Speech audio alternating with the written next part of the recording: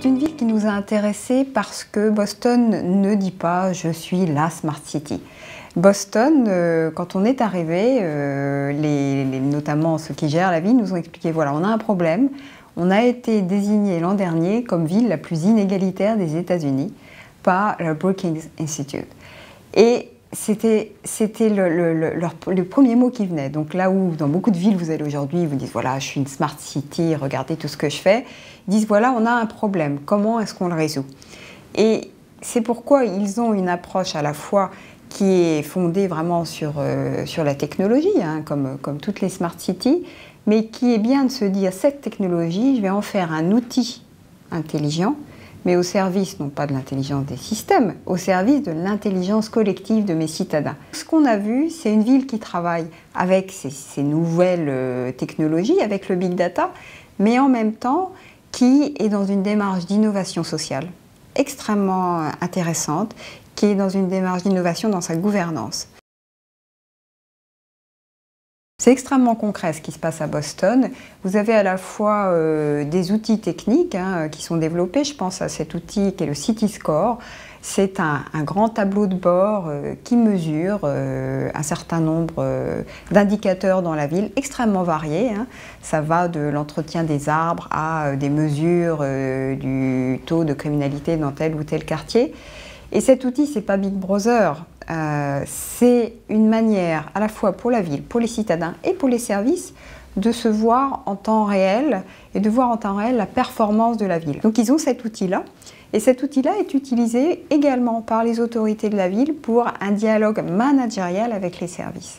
Donc c'est compliqué, ils l'ont dit, d'ailleurs ils le disent, ça ne se fait pas du tout tout seul, hein. c'est pas parce qu'on est aux États-Unis euh, euh, que, que, ce type de, choses se fait plus facilement qu'en France, pas du tout. C'est un dialogue exigeant, compliqué. Et en même temps, ils ont créé, donc ça c'est pour le trait technologique, et en même temps ils ont créé euh, au sein des services de la ville un département qui s'appelle le, le, laboratoire New Urban Mechanics, comment on travaille sur la mécanique de la ville. Et en fait c'est un laboratoire qui travaille en design thinking.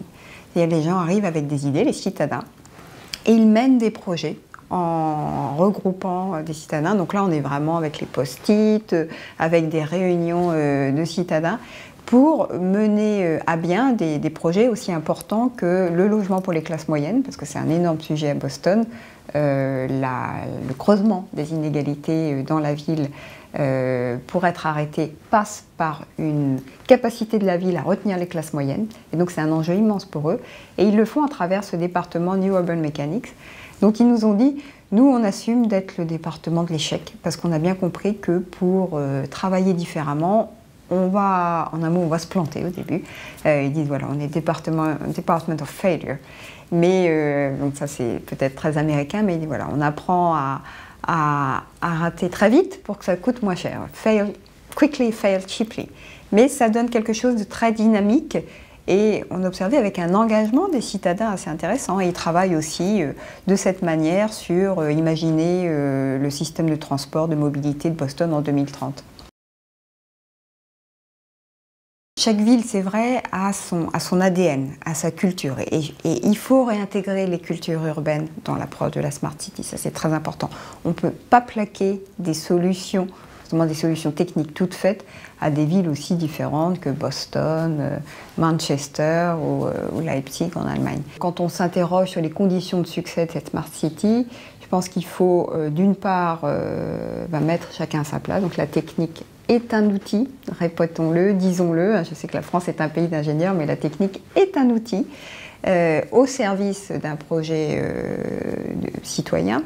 Euh, deuxième raison qui peut expliquer le succès de telle ou telle démarche, c'est qu'il faut qu'il y ait une vision et que cette vision soit portée au plus haut niveau. Donc une vision, les personnes qui vont pouvoir mettre en place cette vision, et puis, euh, et puis beaucoup d'explications et de dialogues. Hein. C'est euh, euh, la Smart City qui émerge comme ça avec telle ou telle solution.